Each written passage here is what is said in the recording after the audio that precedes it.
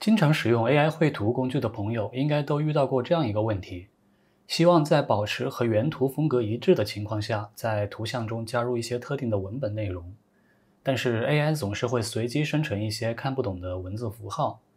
最近就发布了一款以精准控制文本生成作为特点的 AI 绘图工具，叫做 Ideogram，目前正在免费测试。先来看几组效果图片，只需要在提示词中写清楚你想生成的文本，AI 就能以你指定的风格在图像中生成对应的文字。访问它的网站 ideogram 点 com，注册并登录账号，界面非常简洁。主页最上方是提示词输入框，中间是生成预览，下方是实时更新的社区画廊。点击右上角的 Me，可以看到自己生成的作品记录和点赞记录。接下来我会演示几个典型的应用场景。第一种，设计品牌 logo，提示词写法跟 Midjourney 类似。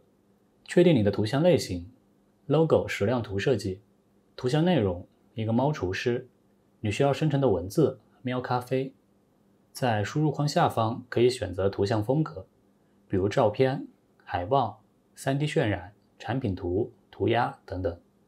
当然，你也可以手动在提示词后面写上图像风格，效果是一样的。右下角可以选择图像比例，目前只能生成三种比例：十比十六的竖屏，一比一正方形，十六比十的横屏。三十秒左右，图像可以生成完毕。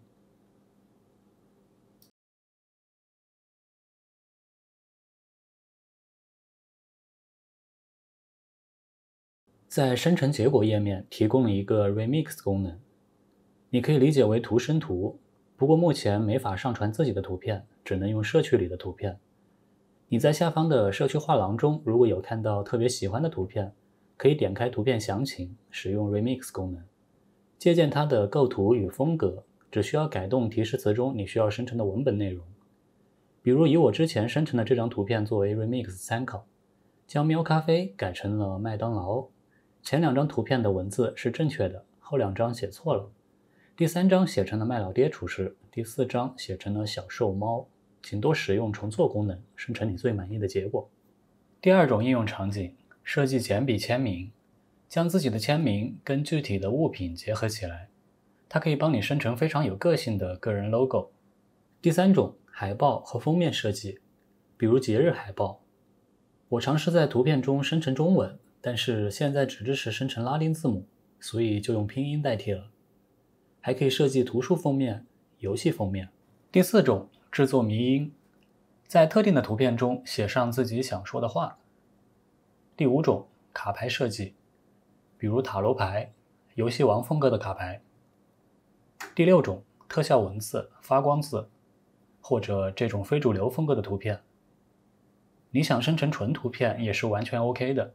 它本身的模型效果也不错。这几天新增用户很多，服务器负载比较大。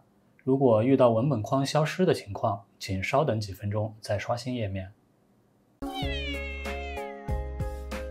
在 Firefly 的主页找到 Text Effects，在前面的文本框输入你想生成的文字，在后面写上你想实现的文字效果，点击 Generate。在右侧选择不同的字形，还有字体。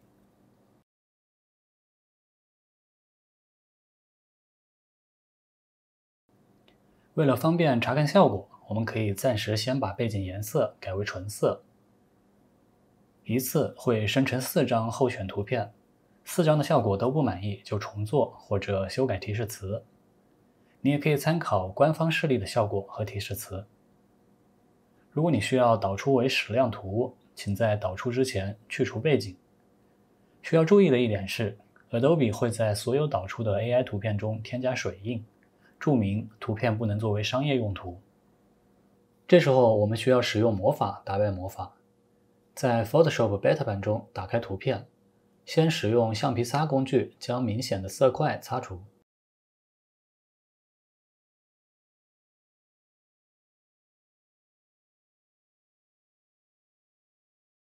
再使用套索工具勾上文字中被擦除的这一块，点击创程式填充，文本框留空，生成。